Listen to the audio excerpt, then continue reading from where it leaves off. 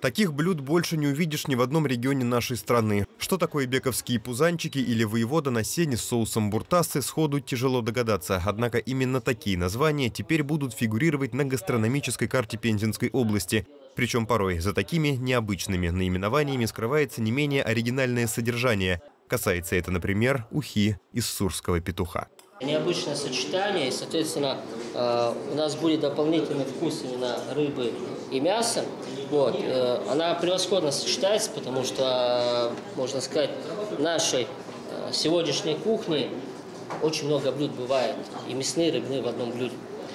То есть здесь особо мешать не будет друг другу, то есть будет достаточно балансированный вкус. Стараемся как бы подбирать продукты не обязательно сочетаемые, мы можем что-то сделать новое и что-то такое необычное. На создание такого необычного меню с акцентом на краеведение ушло несколько месяцев. Все эти блюда были разработаны в рамках развития гастрономического туризма в Пензенской области. Каждая из них – обыгранная история, связанная с нашим регионом. Одно из блюд связано с подачей в качестве гарнира ячменно, ну, блюдо приготовленное из ячменя, да, э, то есть это то, что связано с одним из снопов, изображенных в официальном символе Пензенской области.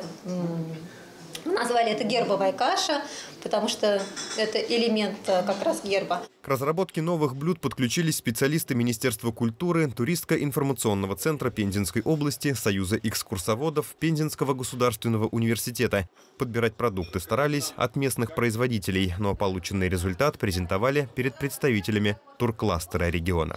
Кулинарную сторону ее проще всего осветить, проще всего сделать ее, подчеркнуть и показать оригинальность. В данном случае мы пошли по пути того, что э, в Пензенском крае всегда были свои кулинарные традиции. Во времена Лермонтова, во времена э, более поздние было что рассказать. Гелеровский очень много рассказывал о пензенской кухне.